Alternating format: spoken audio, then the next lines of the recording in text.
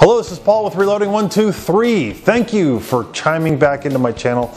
Again, we are going to continue reloading our rifle brass. As you know, these are supposed to be lessons in a chronological order so you can then refer right back to these videos and uh, you could kind of play them the night before you go out to reload and uh, be kind of tuned up uh, if, uh, if you're new to the reloading game. So if you recall in the last set of videos, I actually discarded all the brass after finding some cracks in the head area. So off camera, I've gone through, I've grabbed, I've grabbed 20 pieces of brand new 270 brass. I've lubed, resized, and decapped. But what I want to show you right now is what new brass looks like sometimes out of the bag or out of the box. You're going to see little dents occasionally in the mouth area. And I would highly encourage you, even if it's new brass, to actually resize everything.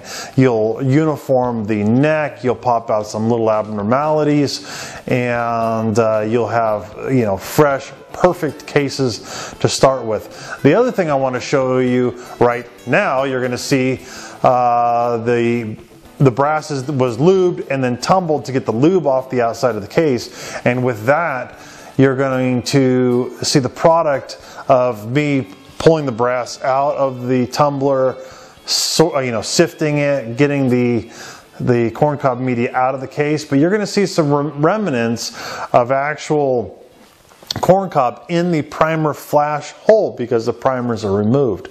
Now what you're going to do is you're going to straighten a paper clip. You're going to pop the the uh, corncob out of that hole. So you're going to do another inspection looking at each primer and you're going to look possibly even on the inside and the outside. You want to make sure that the case is completely free and clear from any kind of corncob or walnut cleaning media that you did in the tumbling process. So with that, we are going to continue down the path of taking a look at these cases. We're going, not only taking a look at these cases, but we're going to continue the case prep. You'll hear a lot of people say case prep sucks, and it does. Uh, this process is long and slow. Uh, several of my friends will actually do the entire case prep process and then leave the brass ready to load. I tend to leave the brass uh, cleaned and then from that point on, then we can basically do the prep process as I'm getting ready to shoot it. So um, we're going to take a look at the length. We're going to trim if necessary. We're going to chamfer the case mouths and get them ready to accept the bullets, okay? So let's see how far we can get and hopefully we'll be able to uh, finish the brass prep and maybe show you how to prime some cases. Otherwise, we'll do priming and uh, powder in the next video. So let's go. The process of clearing the flash hole is very simple. On the top of your screen, you're going to see this paper clip that I kind of that I cleaned out. The small end over here is a part that I actually used to do feel the inside of the case, if you recall, for the the crack. And this side over here I actually use for actually just running through. And actually I'm a little bit uh, anal, so I'm going to run through, and of course I'm at kind of a weird angle. But I'm to make sure each one of these primer pockets are clear. And you can actually see, possibly not on camera that they are, the two that are suspect that actually have corn media in them are these two and uh, you just basically just pop them out. You can kind of push, you can do a number of different things, but it, they usually just pop out pretty easy. But you want to make sure the case is completely free and clear of any debris uh, during that reloading process, of course. Makes sense to you, right? I'm sure. There you go. In the pistol video, you saw me uh, quite in quite detailed fashion prepare the primer pockets, and you will uh, do that exact same thing with the rifle brass. You're going to take any any one any tool essentially that you've got. This is going to be the quick version of this explanation. Obviously, there's a few of them here, and you're going to take any one of these tools essentially and you are going to then clean the inside of this. Of course, this particular, these particular primer pockets rather, are spotless because they are brand new. But you'll take the, the, the tool, whether you use this blade, you clean this out. Here's a different style of blade. You'll use it to clean out this primer pocket. You can use what this is the Crocogator. I think this is now made by by Dewey. You can use this to, to, clean the primer pocket out. And you've seen some more advanced tools in my other videos. So you'll do you'll clean the primer pocket that way, and that's as far that you, is, that you actually have to take it. Um, would be my recommendation. But if you remember on the pistol uh, reloading, I told you you really didn't have to do the primer pockets, which I still uh, agree with. But on the rifle, since we typically are, are interested in, in, accuracy and we're trying to squeeze every bit of accuracy out, I would encourage you to, to clean the primer pockets as best as you possibly can. So once the primer pockets are clean, we need to make sure that we that this brass is within spec. So what you're going to do is you're going to pull out the book and you're going to find out what the actual length is supposed to be. And I'm just going to actually pull out the uh, the Hornady book real fast because it was the first book that came, that I had handy. And I am going to open it up to 270. My friends are going to say you should have been prepared and it's usually not too bad. Looks like I've already got a two. That's uh, that's my research for a different load.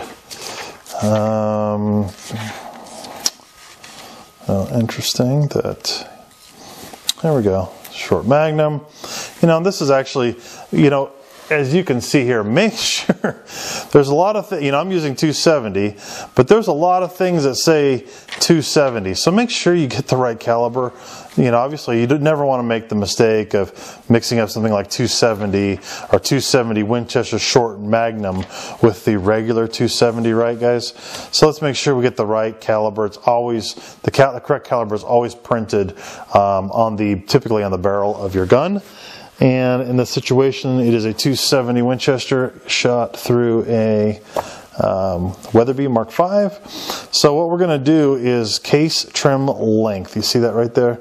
Case trim length, and then there's a maximum length. So basically, this is where you, the trim length is where you want to trim to. So 2.53. So we are going to set up our caliper, and there's lots of videos, and I think I did some close-ups that show you exactly how to zero your caliber, caliper properly, but we're going to do the best job that we can to zero it. Going to lock down the dial face, and then we're going to measure some of these.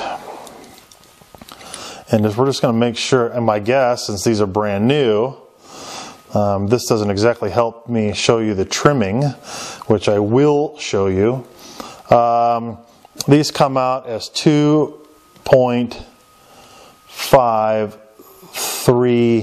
2.537. So it is right in between the trim and the max, in which case I probably will leave it. We're going to try this one. Also 2.537 and also 2.535. So clearly they're all right in there. 535. 2.535. So based on this fact that this is new brass, it is all the same. We are not going to trim this particular brass. We are going to just get it ready to accept the bullet and move on. I will show you trimming in a separate video with brass that needs to be trimmed. So that said, we are going to switch gears. I'm going to show you how to trim the, well, excuse me, not really trim, but chamfer the, the case mouth to accept the bullet. Okay, undoubtedly, your kit or somewhere along the way you've purchased the trimmer. Uh, boy, goodness, the chamfer tool. This chamfer tool is um, kind of the standard looking tool. Some have different number of cutting edges, etc., etc. In this particular case, this chamfers the inside on the left side of the picture, chamfers the outside, just takes the the sharp edge off the outside of the case. This is very, very common and popular as a standard chamfering tool in your kit or case or whatever you buy in the store.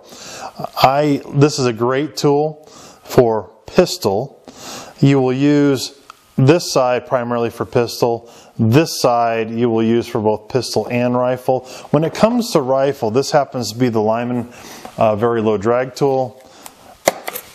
I prefer this tool for rifle, and what you're going to quickly see is that it it has a much uh, you could probably say uh, gentler angle on the chamfer on the inside of the neck, and when you're re- rifle reloading, that actually allows the bullet to seat a lot easier and with, with less resistance. And depending on if how the bullet is, that can be significant. So on a bullet that has a flat base design like this, you're actually going to find that this is very much more forgiving to slide in as opposed to it hitting a sharper edge on this particular tool. I use a lot of these bullets for my deer hunting primarily uh, because they are inexpensive and they get the job done. So my recommendation is if this is the tool that you've got, use it. Um, I prefer this style tool. There's a lot of versions of this. I believe Sinclair. I think everybody actually has a very low drag tool. It's the process is very very simple. You're actually going to run this tool on the inside. Now what you really want to do is you're going to you're going to hold the case. You're going to spin the tool, and you really want to take up actually a fairly nice amount of material out on the inside. And we'll see if I can't take some close-ups in the screen of what that looks like. But you really want to take a, a, a good amount out. And I will give you a close-up here in a moment. And then on the outside, it gives obviously there's a horrible noise, but you're just going to just gently take the outside, um, any kind of a, um, a lip on the outside off and then you're done. And you're just going to do that to every single piece. And you're again, you're going to try to keep the tool as tool's getting away. Uh, as level as possible. So you really don't want to do one of these. Obviously, that's changing the chamfer considerably, right? So you want to keep that chamfer tool as perfectly aligned as possible. Take a pretty good bite out of it, and you're going to find out what that, that bite looks like. You want to make sure you don't cut into the you know the, the uh, all the way through of course but you're going to give it a pretty good cut and then you're done and you will undoubtedly do this every time you trim so every time so not every time you reload but every time you trim uh, you'll find that once you shoot that chamfer doesn't go away but the case does get, in fact, get longer. So once, when you trim this back down, it squares off the edge. You'll then go back and use these two tools to, uh, to clean it up. So that's the, that's the chamfering process on the inside and then, of course, on the outside. So I'm going to do that with the rest of these cases and then we're going to move on. So as I'm finishing these, what I, want I guess I want to show you is that you can go through these pretty quick. My recommendation is you wouldn't change tools midway. Do all the inside and then do all the outsides in order to keep this process going fast. Uh, it can be it's time consuming and painfully slow, but you're going to see pretty quick that it, you know, quite a bit of material is taken off the inside of the necks here. So I'm basically just doing the inside reaming, ah, excuse me, inside chamfering, and then taking a quick visual inspection with the light kind of reflecting off of it, and then coming back through and doing the quick, quick uh, one-two punch on the outside.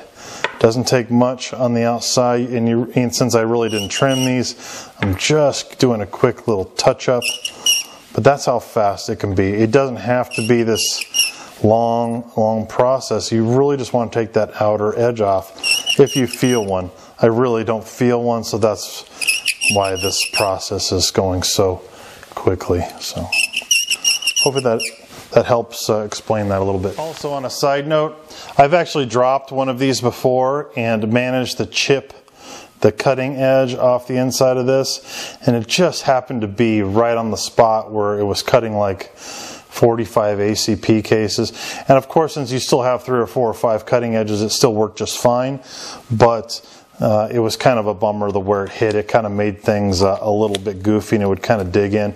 Also, I, I, like to use these pill bottles to, as you know already, to keep everything from getting damaged. So you'll also see that, you know, the end of this process, there's quite a bit of material left that that uh, that was taken off. I think you could probably see that. So you want to, I mean, you're, you're going to be taking off some meat, as you can see it kind of swept up there in the image. Okay, you guys, I think I'm going to leave this video right where it's at, and that way when I come back, I'll be able to show you the primer seating process on and off the press, and then we're going to go through the powder measuring and dispensing process again, and the bullet seating. The truth is, uh, if you look at the pistol videos, it is exactly the same processes as rifle. So you you know you really have your option. You can just cut right to the pistol. Uh, you know, priming, uh, powder dispensing, bullet seating sections, or you can just uh, can wait till the uh, next installment. But thanks you guys for chiming in. Please subscribe if you like these videos. I'm going to finish this series, then go into more detailed um, you know, concentricity, a number of different more advanced options for reloading. Uh, also, uh, chat with me. Tell me what you think.